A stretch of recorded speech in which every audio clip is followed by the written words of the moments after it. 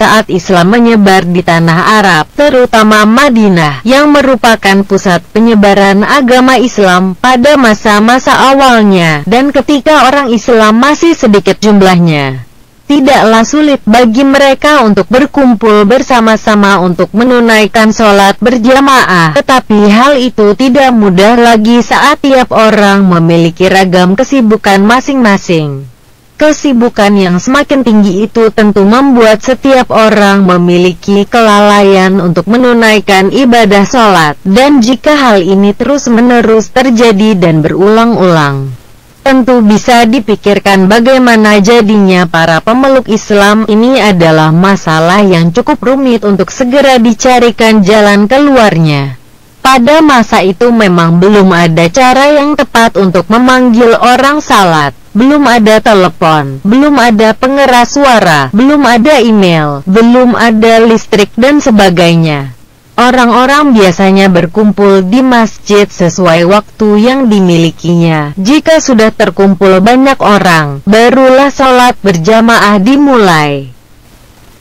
Atas timbulnya dinamika pemikiran tersebut, maka timbul kebutuhan untuk mencari suatu cara agar dapat menjadi cara untuk mengingatkan dan memanggil orang-orang untuk datang ke masjid agar bisa sholat berjamaah tepat pada waktunya.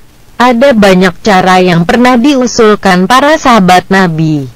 Ada sahabat yang menyarankan untuk menggunakan nyala api yang ditempatkan di tempat yang tinggi agar terlihat oleh masyarakat yang letaknya jauh, atau setidak-tidaknya asapnya bisa dilihat.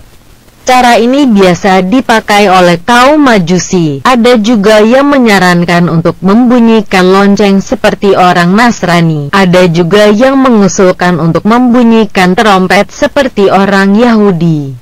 Pendeknya, ada banyak saran yang timbul. Cara-cara itu memang cukup representatif, namun banyak juga para sahabat yang kurang setuju bahkan ada yang terang-terangan menolaknya. Alasannya sederhana saja, itu adalah cara-cara lama yang dipraktekkan oleh orang-orang Majusi, Yahudi dan Nasrani.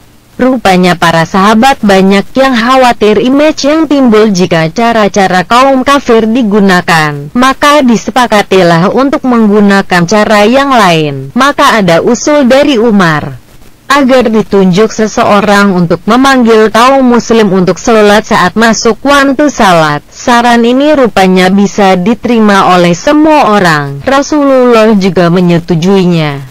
Cuma masalahnya bagaimana itu bisa dilakukan. Abu Dawud mengisahkan Abdullah bin Zaid meriwayatkan, ketika cara memanggil kaum muslimin dimusyawarahkan, suatu malam dalam tidurku aku bermimpi.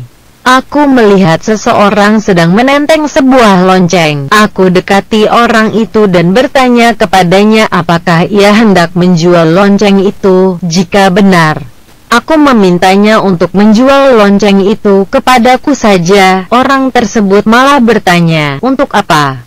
Aku menjawab bahwa dengan membunyikan lonceng itu kami bisa memanggil kaum muslim untuk datang menunaikan sholat. Orang itu berkata lagi, maukah kau kuajari cara yang lebih baik? Dan aku menjawab, Iya, lalu ia berkata lagi, tapi kali ini dengan suara yang amat keras, Allahu Akbar, Allahu Akbar. Keesokan harinya aku bangun dan menemui Rasulullah, dan menceritakan perihal mimpi itu kepada beliau.